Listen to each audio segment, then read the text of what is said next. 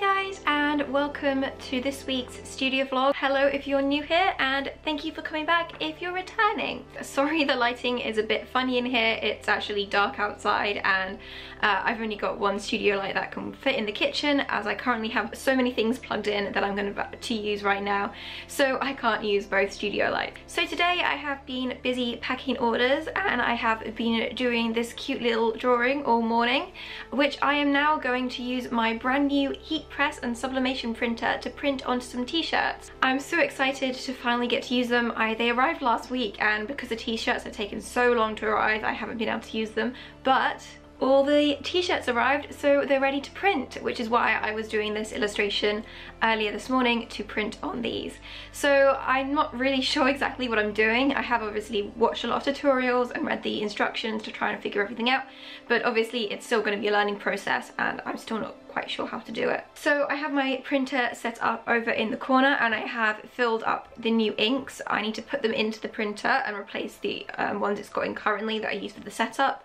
um, and then I need to print my design off onto sublimation printer and set the heat press up. So let's get started with that. So back here we have my special sublimation inks. So I have filled up some special cartridges with these um, already and I need to replace the inks that are already in here. Alright, so these are the new ones.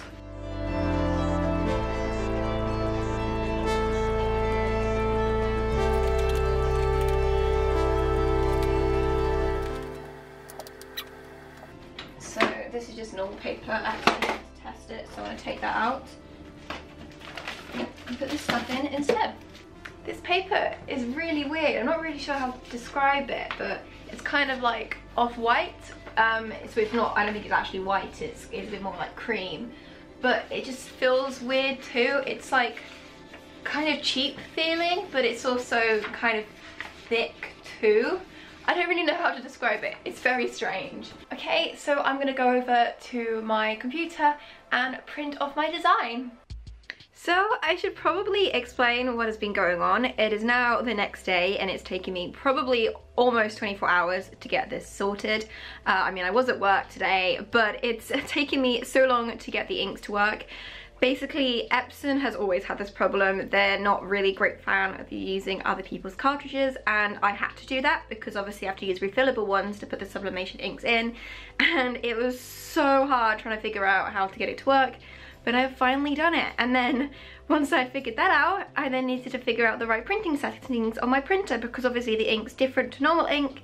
So I kind of had to fiddle around with that and then the Photoshop files and making sure everything looked pretty and nice. And it took, it's taken ages, um, but I have managed to figure it out. So I have now got my final uh, design that I'm going to print on my t-shirts. This is the first one here. I'm really excited to give this a go, finally. To be honest, I'm gonna have to say that I am to, going to do this tomorrow because it's quite late already and there's not much light in my kitchen right now so uh, I kind of want to get the best footage for you guys and to make everything look nice and bright instead of this like weird lighting going on right now but I'm really excited to give it a go and I'm so glad I finally managed to get it figured out. I mean you can see how many attempts there were here to get it right like it was it took a while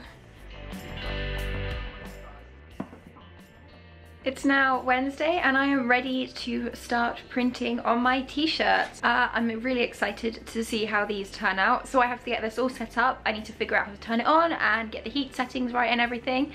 Um, and then start printing. I mean, fingers crossed the first print will go okay, but you know, it probably won't. So I've got five t-shirts which I can use to try and get it right. Um, and obviously I can just turn the t-shirt like on the other side or something and print on that too. So I have all that space to print on. So as you can see here, I ended up putting the heat press um, on this wooden plank. This is just to protect my floor um, because I don't, it won't go on the table. Um, but hopefully that will be fine for it for now until I move.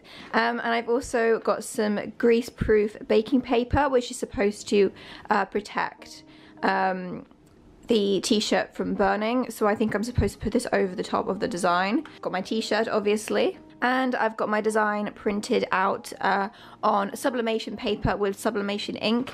As you can see I have flipped the image. This is because obviously it's got text on so you want the text to be facing the right way when it's printed down onto the t-shirt.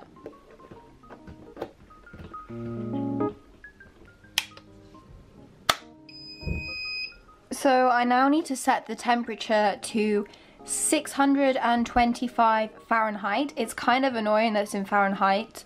So I think what I have to do is press mode. Um, and then, all right, so now I need to set, oh, I have no idea what I'm doing. Okay, so this is the temperature, which needs to be 369. And then the time needs to be uh, 100, uh, no, just 50 seconds. That's not very long. Okay. I really hope I'm doing this right. Okay, so 50 seconds and then, all right, so now it, the temperature is going up, which is good. That's what I want. That took a little bit of time to figure out, but that's fine.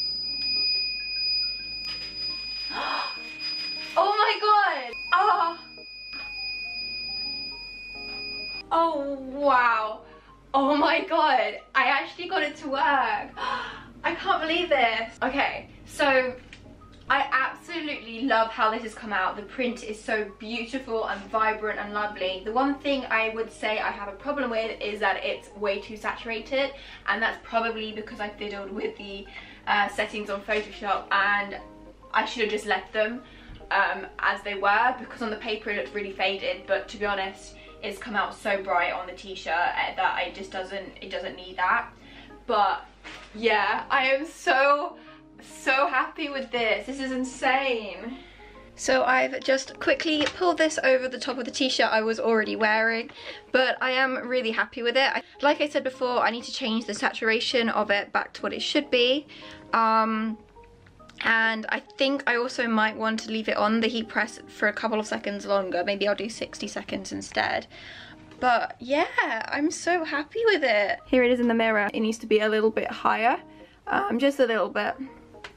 But yeah, I'm so surprised it came out this well on the first go. Like I wasn't expecting it to be this nice. I was expecting it to be kind of faded and weird looking. But yeah, I mean this could work on its own.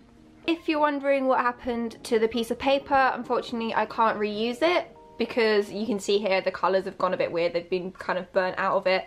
Um, but I thought that the whole design would mostly go, but it's just gone a bit faded.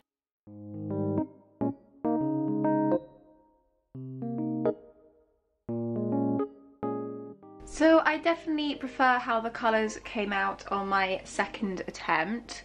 Um, but I think I still need to kind of like tweak the colours around a bit. His jacket and hair are very orange when they're meant to be more yellow. So I kind of want to um, make them more yellow than orange. Um, but other than that, I think I'm, I'm pretty happy with it. And even if it isn't quite the same shade of yellow I'd like it to be, I will probably just leave it because it's going to be very difficult to get the precise colours that they look on screen. Um, so I've fiddled around with some settings in Photoshop to make it less orange and I think that will be enough to make enough of a difference.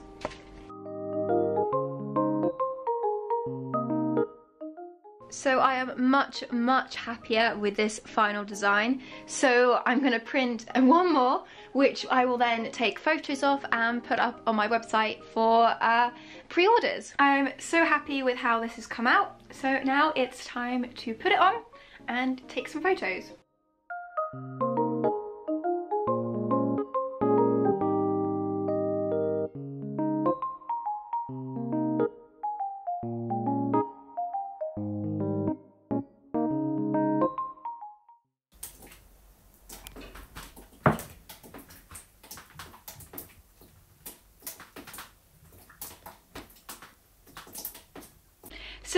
After a really productive day yesterday where I got my t-shirts printed and I was sending out orders and I did loads of cool stuff, uh, unfortunately, uh, there was a bit of a problem. So you know how last week I spent ages organising the bit in my kitchen with all my products and everything? Uh, well, there was a leak. Uh, so upstairs they have three different problems wrong with different things. So I had to take everything out of my kitchen and put it in my living room uh, because my floor got wet. So yeah.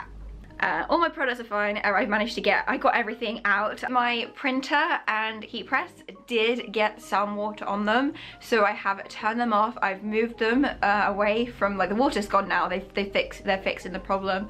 But I'm just kind of annoyed that it's just like, I wanted to spend time packing orders before I went to work, but I've had to like, um, move everything uh, and kind of talk to the people who live upstairs and the plumber and try and sort everything out, which is kind of frustrating.